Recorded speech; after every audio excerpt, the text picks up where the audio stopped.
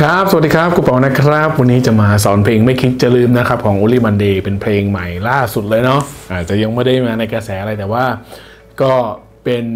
เหมือนว่าเพลงที่ชอบนะครับ ก็เลยอยากเอามาสอนด้วย แล้วก็เพลงเนี่ยกีตาร์ชัดเจนนะเผื่อใครที่เป็น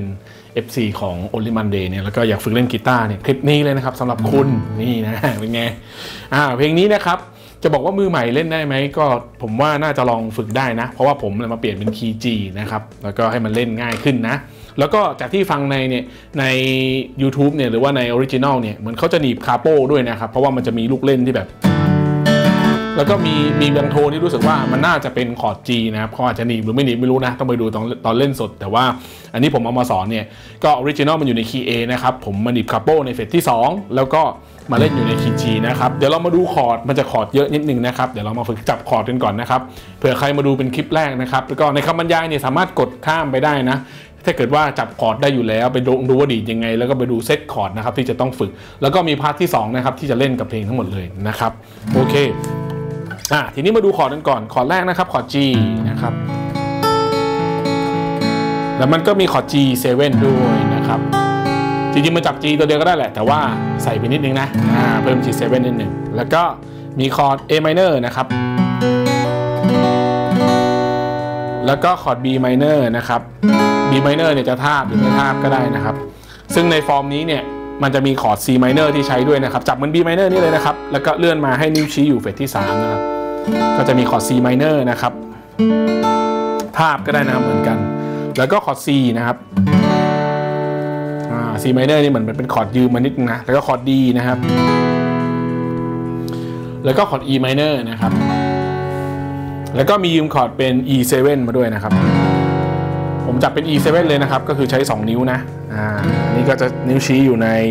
อ่าสายที่ 4 นะครับ fret fret ที่ 1 อันนี้พอเราหนีบ capo แล้วนะครับ แล้วก็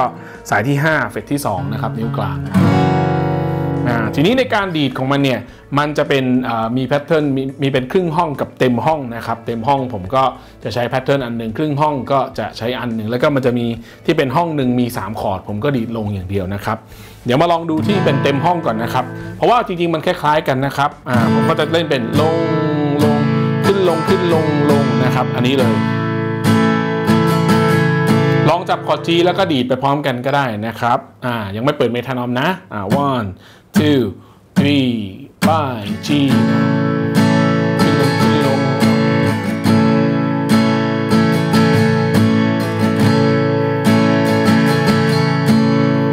อ่า ทีนี้ลองมาเป็น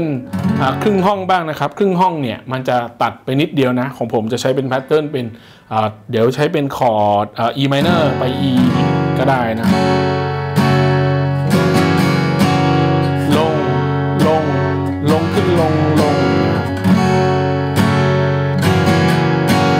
นเนี้เพื่อฝึกให้ง่ายขึ้นนะครับ ผมจับ E minor โดยใช้นิ้วกลางกับนิ้วนางนะ แล้วก็พอเปลี่ยนไป E7 เนี่ยมันเพิ่มแค่นิ้วชี้แล้วก็ปล่อยนิ้วนางนะครับ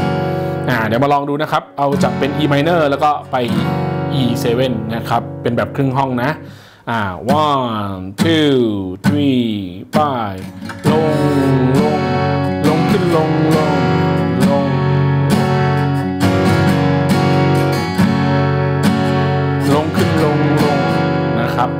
อันที่เป็นครึ่งห้องนะครับ ก็จะแบ่งเป็นแพทเทิร์นอย่างนี้หมดเลยนะครับ แล้วก็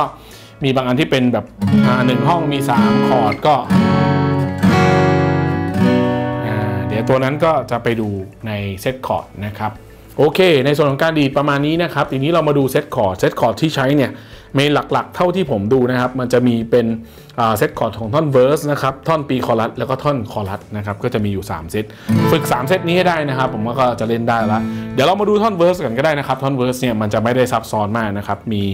มีเป็นคอร์ดที่เหมือนกับเล่นวนซ้ำๆนะครับ ความเร็วของเพลงเนี่ยมันอยู่ที่ 75 นะครับ ประมาณนี้นะครับ ทีนี้มาดูเซตคอร์ดของมันกันนะครับ มันจะเล่นเป็น G ครึ่งห้องนะครับ แล้วก็ไป G7 นะครับครึ่งห้อง C ครึ่งห้องแล้วก็ C minor ครึ่งห้อง มันเล่นแบบนี้นะครับไปประมาณ 3 รอบนะครับอ่าสามรอบ 3 รอบแล้วมันก็จะเป็นอ่า G ครึ่งห้อง G7 นะครับอีกครึ่งห้องแล้วก็ C ครึ่งห้อง D ครึ่งห้อง แล้วก็จบที่ A minor เต็มห้องนะครับก่อนที่จะไปเช่าปีคอรัสนะครับ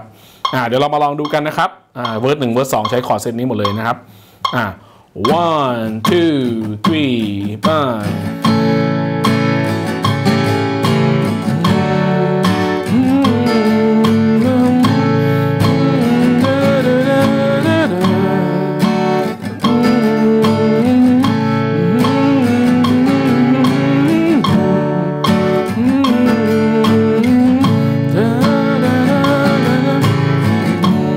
ไปดีนะครับ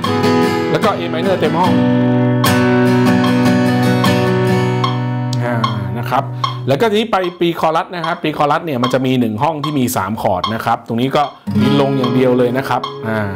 มันจะเป็นอย่างนี้นะครับอ่าสามสี่หนึ่งสองสามสี่ตรงนั้นมันมีเป็นอ่าเป็น B minor นะครับครึ่งห้องแล้วก็ E minor 1 จังหวะ E 7 1 จังหวะนะครับแล้วก็ E minor เต็มห้องแล้วก็ D เต็มห้องนะครับอ่าอ้าว one two three four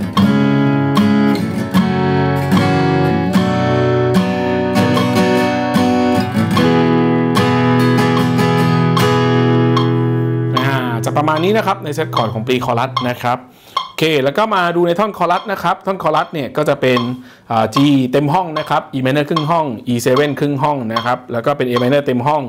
C minor ครึ่งห้อง D ครึ่งห้องนะครับแล้วก็คล้ายๆเดิมนะ G เต็มห้อง E minor อ่า E minor ครึ่งห้องนะครับ E 7ครึ่งห้อง A minor เต็มห้อง C minor ครึ่งห้อง แล้วก็ D ครึ่งห้องนะครับมาลองดูกันนะท่อนคอรัสนะครับ One, two, three, five.